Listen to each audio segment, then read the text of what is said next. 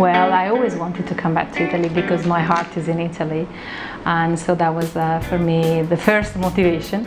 And uh, of course, I knew about the Istituto Italiano di Tecnologia, and uh, so when I first visited and I saw the facilities and uh, I just spoke to colleagues around and I saw the passion and the, the energy of this institute that kind of convinced me that I really wanted to come back. And uh, so since uh, September last year, so September 2013, I started to set up a new division which is called the Nanocarbon Materials. And uh, I hired five very young talented researchers to join me in this uh, uh, new adventure. And uh, we set up I, I set up a new lab completely new um, in the basement.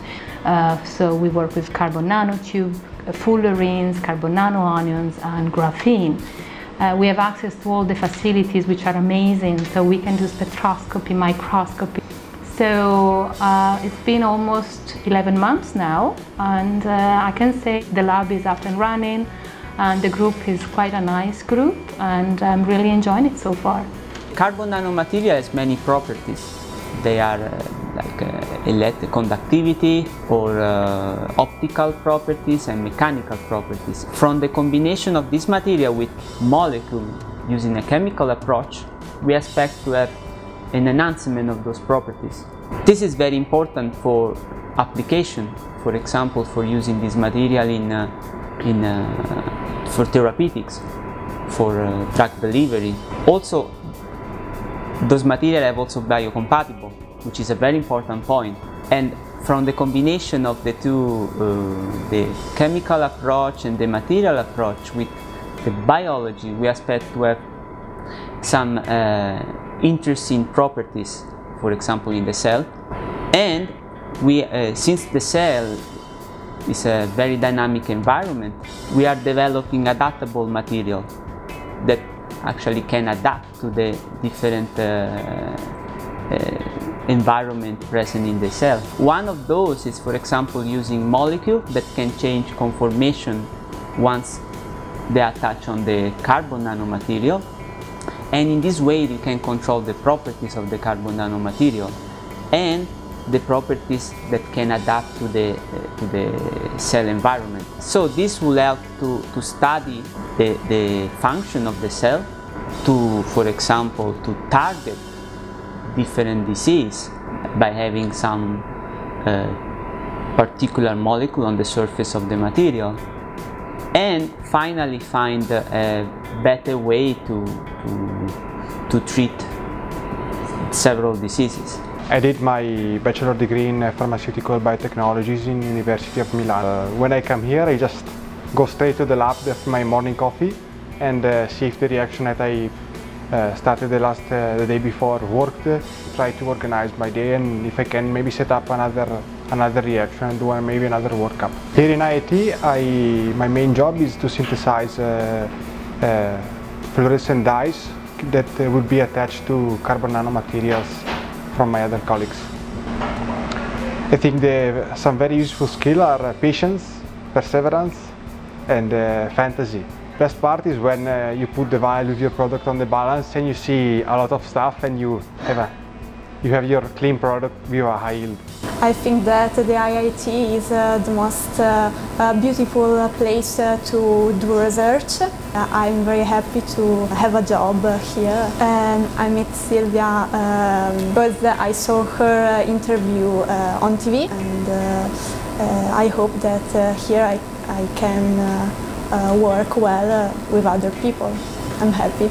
I've never considered the option not to study uh, either science or technology. We uh, use like a lot this uh, microscope, um, which is an AFM microscope. Uh, one big challenge is when, for example, you think that something should work and then you expect an experiment going some way and then it turns out that something went wrong. Uh, you should not let, let it get you down until you uh, finally reach uh, like let's say a good result. Yeah. The other thing I really enjoy is the, the, the opportunity I have to, to learn from nature and also from my colleagues. I began my career in the university and uh, University of Milan and after that I'm here in uh, Silvia's laboratory.